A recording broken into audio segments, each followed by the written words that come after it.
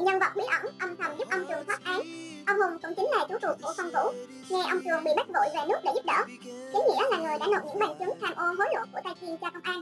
Hắn muốn dùng tay Kiên để hạ bệ ông Trường, nhưng không ngờ vào phút chót ông Trường lại có quý nhân giúp đỡ. Điều này chính nghĩa vô cùng cay cú. Liệu rằng hắn sẽ còn làm gì để tiếp tục hãm hại ông Trường? Chuyện ông Trường được cứu có liên quan gì đến Phong Vũ? Đó là những nội dung chính của video ngày hôm nay.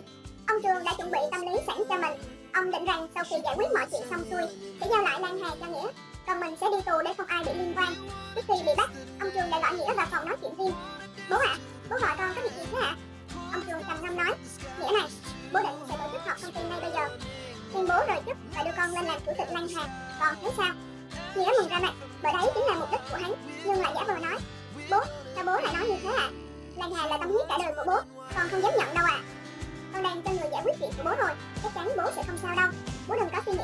Như thế ông thường lắc đầu Bố biết con toàn tâm toàn ý với bố và năng hà Nên mới gieo cho con trọng trách này.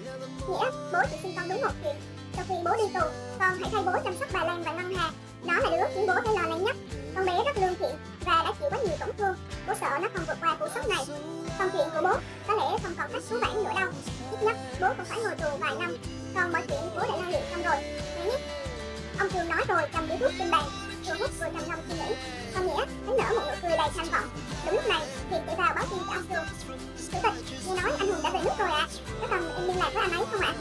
ông trường mặt mày bừng sáng bắt lên tia hy vọng. Thực ra, sau khi mọi chuyện vỡ lẽ, ông trường đã cố liên lạc với ông hùng nhiều lần. Nhưng có lẽ, ông hùng sợ liên quan nên không nghe máy, luôn tìm cách né tránh ông trường ông hùng là một nhân vật quyền lực trong giới làm ăn chỉ có ông hùng mới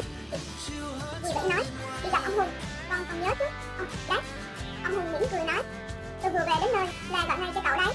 Rồi để cho người bị nghiện tay tiên rồi, cậu không cần lo sẽ bị liên quan hay dính dáng nữa đâu.